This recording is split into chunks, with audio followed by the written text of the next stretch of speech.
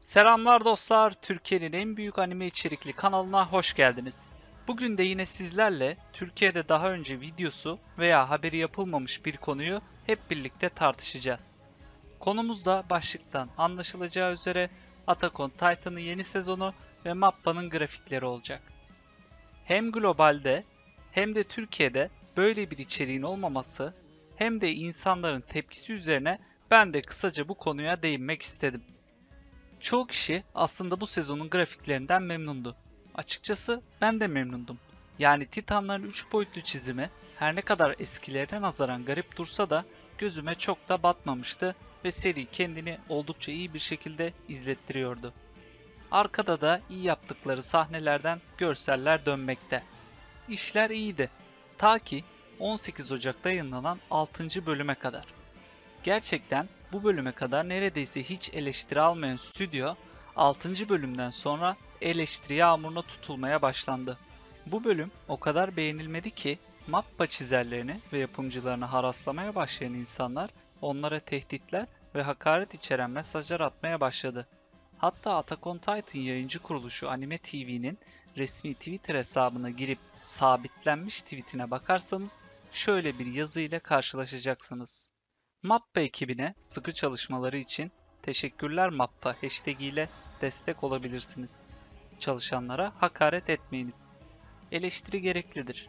Ancak hakaret gerekli değildir. Yani yayıncı kuruluşa bu yazıyı yazdıracak kadar adamları illallah ettirmişler. Tabii hayranların hakaret mesajlarını kesmesi için bu yazı da yetmiyor.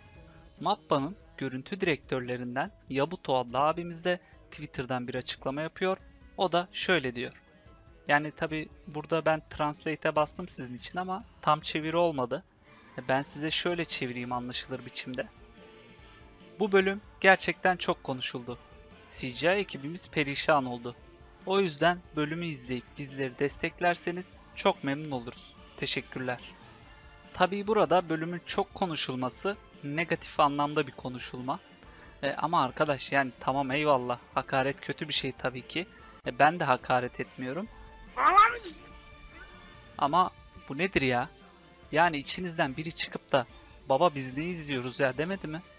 Yani yayına konmadan önce şu bölümleri keşke biri izleseymiş de yorum yapsaymış. Olayların biraz başlangıcına dönmek istiyorum ben burada. Yani olaylar nasıl bu hale geldi? Biraz ona değinmek isterim ve sizi de bilgilendirmiş oluruz böylece. Sezon 1-2-3'ün yapımcı şirketi Wit Studio'ydu. Belki bilenleriniz vardır aranızda. Harika da çizimleri vardı arkadaşların.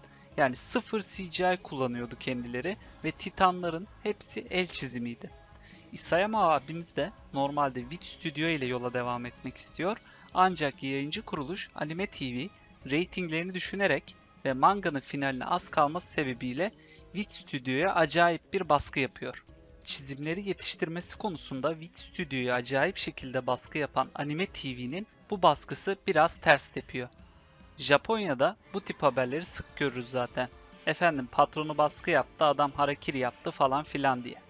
Neyse Wit Studio'ya bir zaman limiti koyuyor bu Anime TV ve diyor ki bak bu anime ya 2020 sonbaharında yayınlanmaya başlayacak ya da sizin defterinizi düreriz diyor. Wit Studio da kardeşim biz kaliteli işler yapmaya çalışıyoruz. İstediğiniz tarihte aynı kalitede bir anime çıkarmamızın imkanı yok diyor. Anime TV'de dediğini yapıyor ve Wit Studio'nun defterini dürüyor. Sonra oradan bir yerlerden stüdyo mappa fırlıyor. İşi bize verin, biz yetiştiririz diyor. Anime TV'de işi bunlara veriyor. Uzun lafın kısası Mappa'nın yapımcı firma olmasının özü bu şekilde. CGI'lara geri dönersek videonun başında da belirttiğim gibi bana göre 6. bölüme kadar bir sorun yoktu efektlerde. Ama Mikasa'nın o tipini gördükten sonra ve Levi'nin 40 kilo almış halini gördükten sonra acayip bir soğuma geldi. Modum düştü yani bir anda. Artı olarak bir ek noktadan daha bahsedeceğim. Wit Studio'ya artı yazan bir özellik bu yine. Wit Studio o kadar mükemmel müzik kullanımı yapıyordu ki önceki sezonlarda gerçekten insanları direkt olarak animenin içine çekiyordu. Şimdi iki kısa sahne koyacağım buraya. Sizden bir karşılaştırma yapmanızı isteyeceğim. Sizce hangisi daha iyi? müzik ve ambiyansı bir bütün olarak düşünmenizi istiyorum ama bu sahnelerde. Gelsin bakalım sahnelerimiz.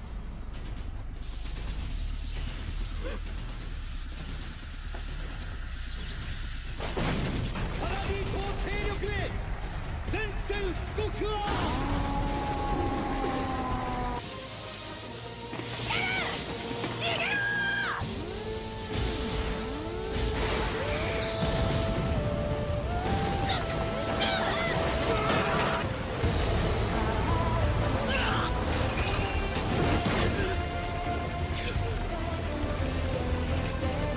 Bana göre açık ara farkla ikinci sahne eziyor gibi. Yani ilk sahneye adamlar neredeyse müzik koymaya bile üşenmişler. YouTube'da da biraz araştırırsanız insanlar zaten hep arka fona farklı farklı müzikler koyup yayınlamışlar bu sahneyi. Yani amatör YouTube'çuların yaptığı arka fon müziği bile şuna bin basıyor. Yazık etmişler. Ben böyle olsun istemezdim. Ha, daha anime bitti mi? Hayır bitmedi. İlerleyen bölümlerde bakalım neler olacak hep birlikte göreceğiz. Belki hatalarından dönüp küçük iyileştirmeler yaparlar ama bu saatten sonra çok zor bu. Yani çoktan bütün bölümler hazırlanmış bir şekilde bekliyordur arşivlerinde. Farz edelim ki bu düzeltmeye giriştiler. Bunu yapsalar bile 1-2 hafta gibi kısa bir sürede bu görüntü düzeltmelerini yapmalarının imkanı yok. Ancak animenin Part 2'sinde bu düzeltmeler gerçekleşebilir. Ben hala umutluyum yani. İzlemeye tabii ki devam edeceğim. Edeceğiz. İnşallah böyle çok gözümüze batmaz diğer bölümler. Sizlerin de konu hakkındaki düşüncesini merak ediyorum dostlar. Sizler ne düşünüyorsunuz? Yorumlarda belirtin. Biz de bir sosyal anket yapalım kendi aramızda böyle birlikte tartışarak. Bir sonraki videoda görüşmek üzere. Hepinize de iyi günler diliyorum. Hoşçakalın.「